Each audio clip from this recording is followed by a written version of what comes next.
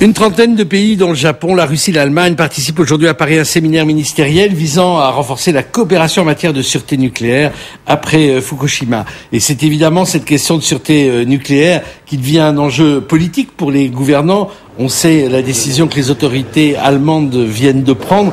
Nicolas Sarkozy a d'ailleurs euh, fait allusion en disant euh, que l'émotivité, le manque de sang-froid, l'instantanéité du débat médiatique conduisent à prendre des décisions qui sont invraisemblables. Euh, c'est une déclaration qu'il a faite aujourd'hui. Mm, c'est la première fois que le président français s'exprime sur le renoncement à la production électrique d'origine nucléaire décidé par l'Allemagne. François de c'est vraiment un manque de sang-froid et l'émotivité qui ont conduit euh, les autorités allemandes à cette décision ou pour vous, c'est l'amorce d'un débat, j'allais dire, général sur euh, l'industrie nucléaire? Ah, Je crois que c'est euh, non seulement l'amorce d'un débat sans doute européen et mondial sur l'avenir de, de l'énergie nucléaire, mais au-delà, en Allemagne, c'est surtout le, le fruit d'une décision qui a été longuement et mûrement réfléchie, puisqu'en réalité, c'est une décision qui a été prise dès 1998.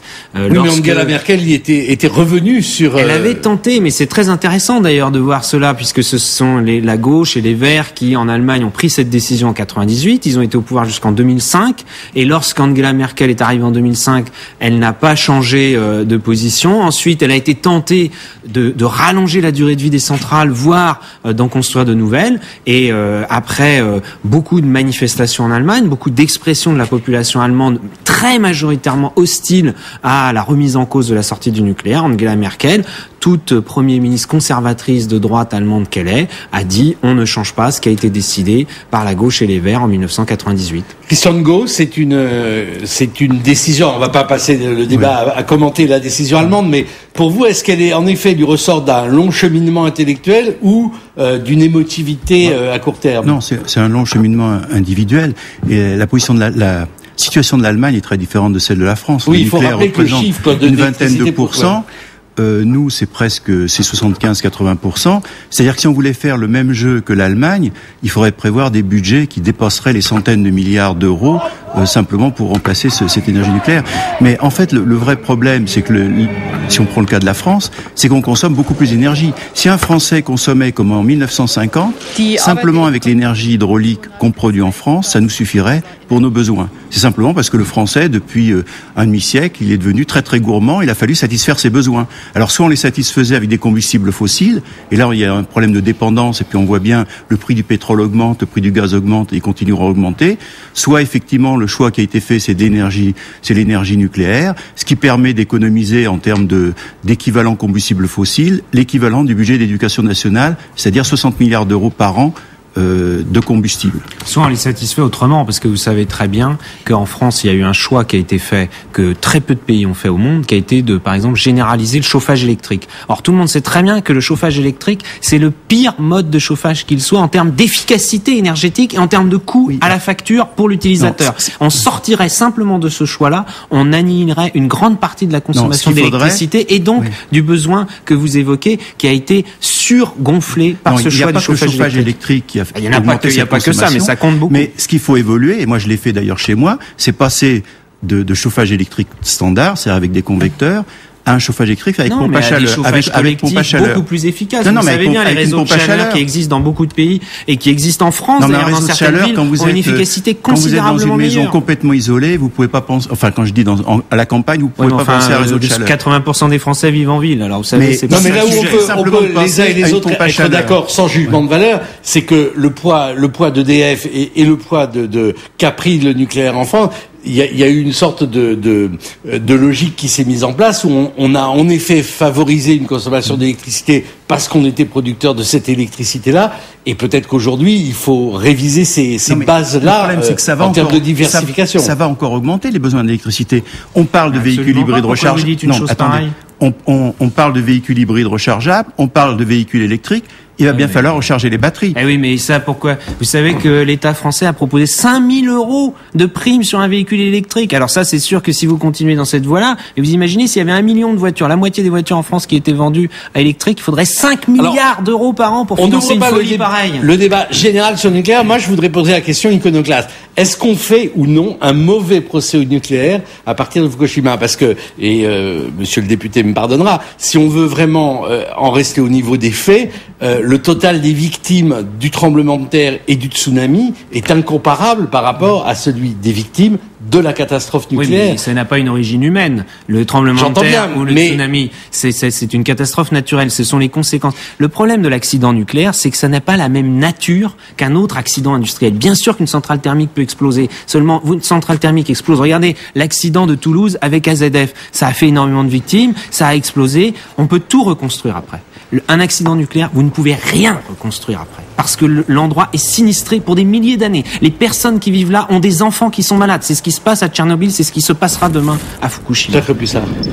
Oui, je crois que ce qui caractérise un accident nucléaire très grave, c'est la perte de territoire.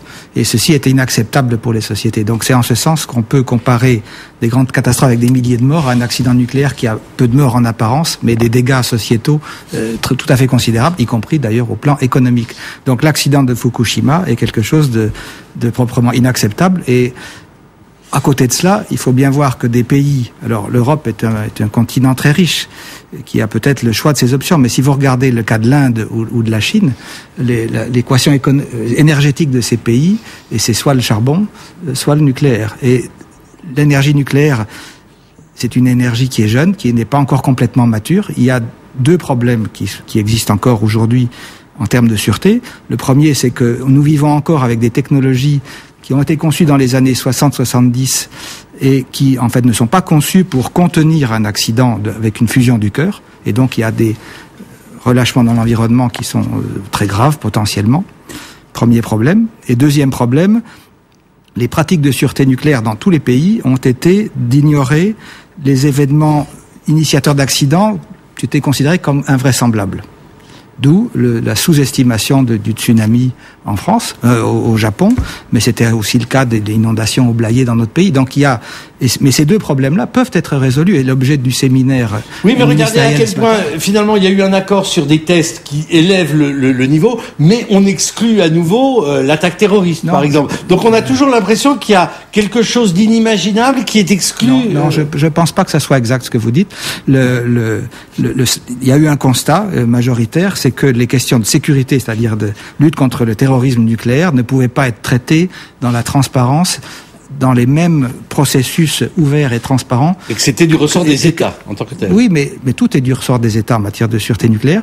Il y a aussi, on peut aussi parler euh, entre États de manière bilatérale de questions de sécurité nucléaire, mais ça engage des processus de confidentialité considérables. Donc le terrorisme nucléaire doit être traité. Vous ne trouverez pas un chef d'État qui ait dit le contraire, mais ça doit être traité dans un processus ad hoc. Et je crois que ce qu'il faut promettre euh, aux concitoyens en Europe, mais dans le monde entier, c'est que ces stress tests seront faits, et c'est un des objets du séminaire de ce matin, mhm. d'obtenir un consensus de tous les pays pour s'engager à réaliser dans de bonnes conditions ces stress tests, et deuxièmement, derrière, de s'engager à prendre des mesures correctives, évidemment, euh, pour euh, améliorer la sûreté euh, sur les points qui auront été mis en évidence par ces stress tests. Grigory Rolina, il y aura une réunion de l'Agence internationale de l'énergie atomique les 20 et 24 juin à Vienne qui devrait définir de nouveaux objectifs pour un haut niveau de sûreté nucléaire.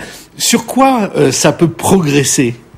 Ben, je dirais que d'abord, c'est très bien qu'il y ait une impulsion qui vise à, à, rendre les normes plus rigoureuses. Mais ce, ce dont on se rend compte aussi, c'est qu'il faut vraiment analyser la sûreté en exploitation. Et là, il faut, il faut mettre en œuvre des processus d'évaluation adaptés. Et euh, alors moi, j'ai eu la chance de, de, de, regarder ce qui se faisait en France et ce qui se, ce qui se faisait à l'IRSN. Et ce que j'ai pu voir, c'est que au-delà des normes, il faut qu'il y ait une approche de la régulation qui soit basée sur un dialogue continue et technique entre les exploitants, les experts et les autorités de sûreté. Parce que ce qui est important aussi euh, dans la centrale nucléaire, hein, c'est vraiment ce qu'on appelle les facteurs humains, les facteurs organisationnels et, in fine, la culture de sûreté des installations nucléaires. Mais alors, est-ce que cette culture de sûreté, elle peut se faire dans le, le manque de transparence inhérent, et vous, vous venez de l'évoquer par rapport aux menaces terroristes, inhérent à cette euh, euh, production-là d'énergie non, non, je pense que la transparence, le manque de transparence n'est pas du tout inhérent. Il y a un sujet qui doit être traité de manière confidentielle, c'est les questions de sécurité nucléaire, la lutte contre le terrorisme et les risques de sabotage. En revanche, toutes les questions de sûreté ont à gagner d'être traitées de la manière la plus transparente possible. Vous m'accorderez que ça n'a pas été vraiment la grande tradition pas- d'EDF en France, notamment. C'est vrai, mais Et c'est vrai, mais il faut corriger cela. C'est un Mm. des impératifs. Si on veut que les Français acceptent à l'avenir euh, l'énergie Mm. nucléaire, eh bien, c'est une condition sine qua non. Dans une société de la connaissance, on ne peut pas faire l'impasse sur la transparence absolue des questions de sûreté nucléaire. Enfin, moi, je pense qu'effectivement, la sé- sécurité et la sûreté doivent être suivies par l'État, par des organismes qui sont euh, indépendants euh, de l'industriel qui produit l'énergie, qui produit l'électricité. Et, il faut qu'effectivement la population ait confiance euh, dans, dans ces organismes-là. Par contre, on peut pas tout mettre sur la table simplement pour des questions de terrorisme, hein, comme je l'avais déjà dit. on- Mhm. vous- quand vous mettez votre argent à la banque, vous aimeriez pas que euh, à l'entrée de la banque il y ait la, la description de tous les systèmes de sécurité. Bon, bah, c'est la même chose pour l'énergie nucléaire. Il y a des choses qu'il faut pas mettre sur la table. Il y a d'autres choses. Par contre, la manière dont c'est surveillé, euh, ça, ça doit être transparent. Mais Vous aimeriez bien quand même que euh, votre banque vous donne des garanties sur les Oui, c'est procédures pour qu'elle met, qu'elle utilise pour utiliser ben, c'est votre pour argent. ça qu'il y a des Donc, euh, organismes de- oui, de- mais alors est-ce que vous trouvez normal, par exemple, moi je suis député et en 2008 il y a eu un accident à Tricastin en France, un accident assez sérieux, et euh, nous avons été des députés de toute tendance politique, de la majorité de l'opposition, à demander une commission d'enquête parlementaire.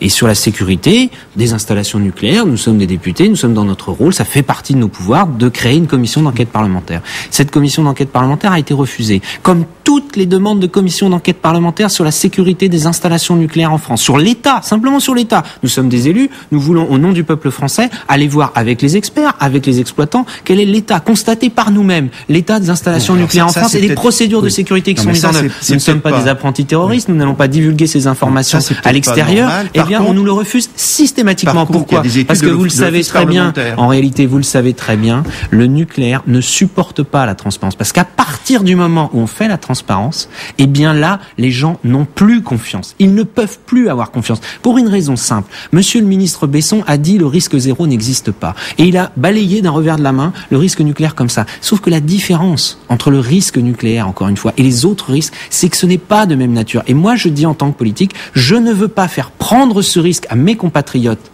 à, aux Français. Mais j'ai pas envie que les Allemands, les Belges, les Italiens ou les Espagnols prennent ce risque à leur population et à nous. Parce que vous savez très bien qu'un accident nucléaire, il s'arrêtera pas aux frontières. Les conséquences ne s'arrêteront pas aux frontières en Europe.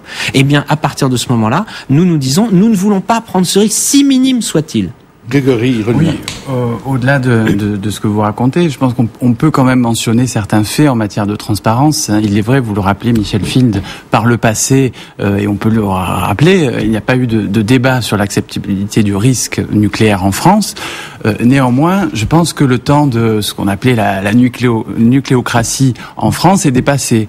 Dès la fin des années 90, enfin, ou, seulement à la fin des années 90 et dans les années 2000, euh, quand même, on, a maintenant euh, un institut d'expertise qui est complètement détaché du CEA, donc d'un exploitant.